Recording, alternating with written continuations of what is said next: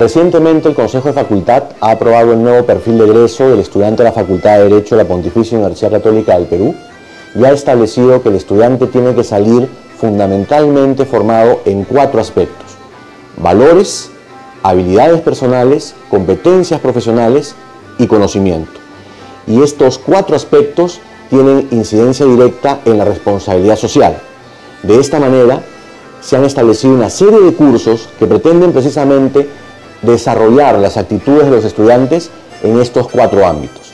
Y esos cuatro cursos son los que vamos a ver a continuación.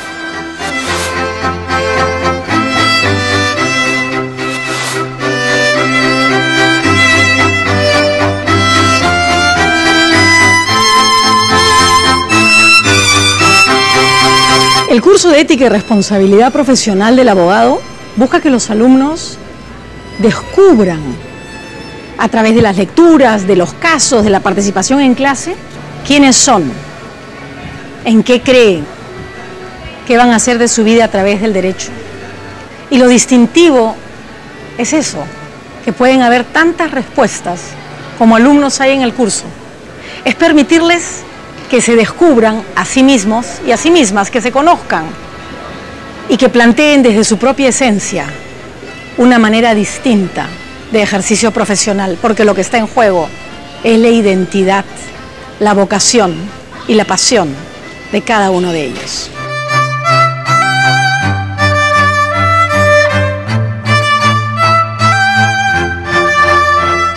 Y por otro lado, más allá del conocimiento de las normas y saber aplicarlas, creo que también te aporta un momento de reflexión en torno a cuál es tu relación con estas normas, ¿no? ¿Por qué las cumples? ¿Por qué no las cumples? ¿Por qué cumplirlas?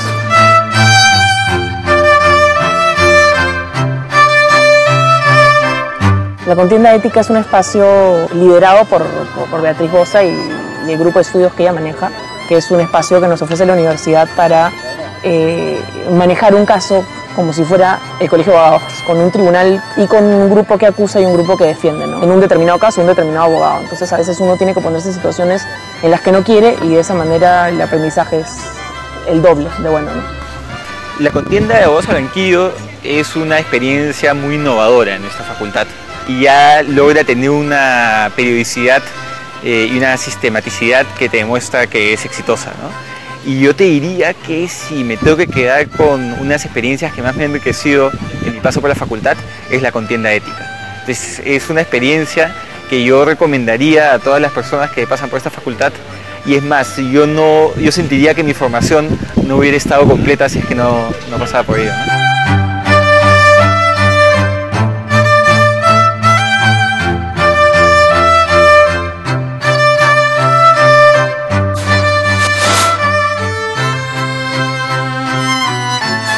El objetivo del curso es traer a la clase la calle, tratar que el alumno en ese sentido tenga la oportunidad de vivir las sensaciones, las emociones, las dificultades de ser abogado en ejercicio.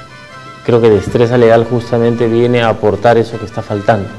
Un curso en el cual te entrenan a escribir escribiendo y lo mismo, la forma de aprender a presentar oralmente una posición ante una autoridad es haciéndolo.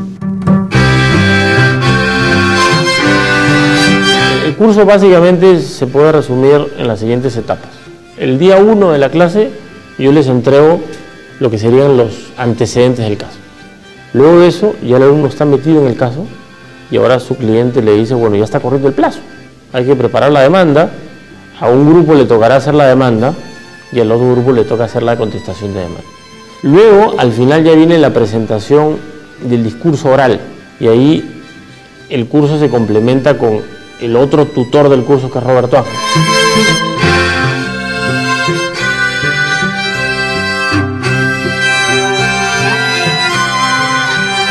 Y finalmente eh, hacemos un examen eh, con jurados que hacen de árbitros en una sesión y se sientan, leen el caso y escuchan a los abogados de la demanda y a los demandados y finalmente eh, fallan a favor de un grupo de alumnos, de un grupo de abogados en cada caso.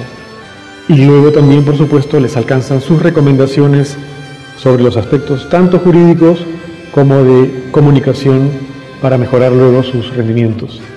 Creo que es muy importante dentro del, ejercicio profesional moderno, en particular en el del derecho, poder eh, ¿no? considerar estos aspectos de persuasión, del manejo de la palabra, y estas cosas se manifiestan a través de la inflexión, de la postura, de la forma en la que aborda el lenguaje, cómo estructura su discurso y sobre todo finalmente cuánta verdad, cuánta emoción, cuánta identificación pone a este caso para conseguir su, su demanda.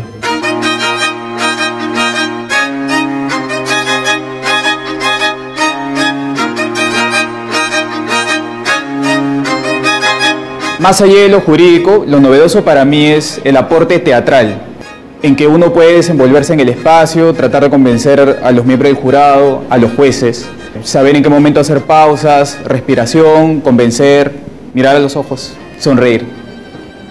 Realmente ha sido una maravilla. Este curso lo que yo creo que te aporta es aquello que los abogados de repente hemos olvidado o hemos dejado un poco al costado, que es de repente la razón por la cual decidimos inicialmente ser abogado, que es el placer de litigar y litigar bien, ¿no?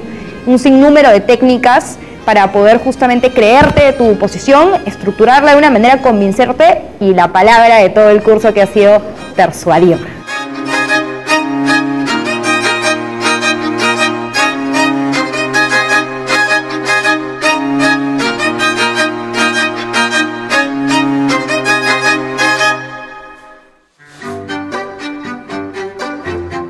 La clínica jurídica es un curso que integra siete comisiones, cada una presidida por un profesor especializado que con un pequeño grupo de alumnos ve casos de incidencia pública, de trascendencia social, que tengan que ver o con el interés público o con políticas públicas. Entre los casos que ve la clínica jurídica están, por ejemplo, la Comisión de Medio Ambiente que ve la contaminación de azufre en combustibles, la Comisión de Penal que ve los casos de anticoncepción quirúrgica voluntaria y la Comisión de Derecho Procesal que ve la discusión procesal acerca de la propiedad de Machu Picchu en el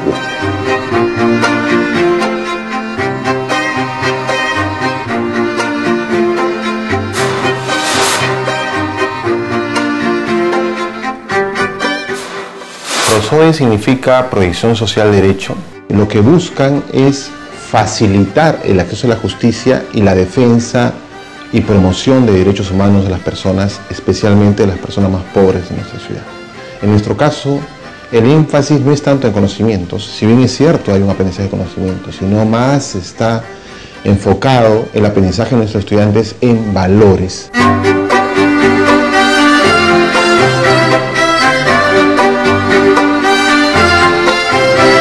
Se implementan a través de cuatro áreas en Prosodia. La primera área es el área de asesoría jurídica, que se implementa a través de eh, cinco consultorios jurídicos gratuitos.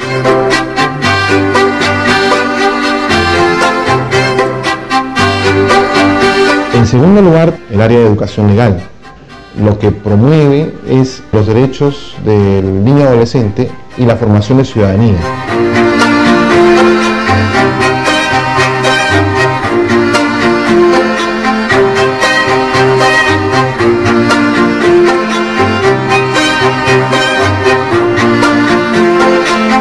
Tercer área que tenemos importante es el área de difusión legal y se implementa a través de programas radiales de una hora de duración.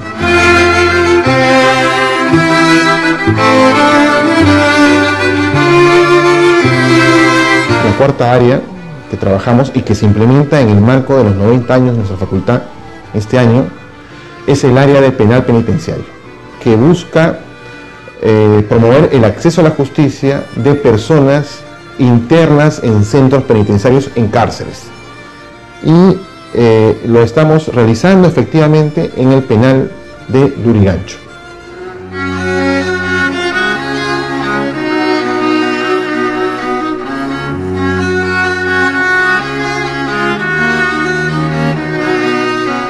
Varias personas que se nos acercaban no tenían sentencias algunos tenían sentencias cumplidas y aún no salían. por temas procedimentales, por no tener abogado. Y encontrarme con esa realidad me, hizo dar cuenta de cuán real es el problema. Eso que, te impulsó a ti a estudiar esa, esa realidad que, vivimos, creo que sí, sí se reafirma con este curso. Eh, definitivamente poder ayudar a la gente, poder ayudar a la gente a tener una segunda oportunidad, poder ayudarlos a, que dentro de esta experiencia horrible que es estar en una cárcel, tomarlo de, la mejor manera y darle una mano a las personas que más necesitan para que continúen con su vida. ¿no? Y, claro, la mayor satisfacción pues poder sacar a alguien de la cárcel.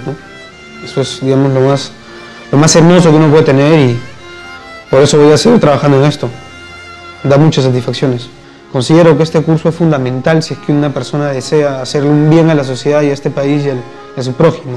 Considero que es un curso muy útil y le recomiendo a cualquier persona, así, así no se quiera dedicar a hacer labor social y ayudar y utilizar su sapiencia en el servicio de la comunidad, que lo haga porque es una experiencia distinta. Como hemos visto, en estos 90 años la Facultad de Derecho no ha cesado en su intención de seguir innovando y preocuparse de las formas de enseñanza del derecho. Y lo que acabamos de ver es solo una muestra de la constante preocupación por la innovación y de la constante preocupación por formar a los mejores abogados.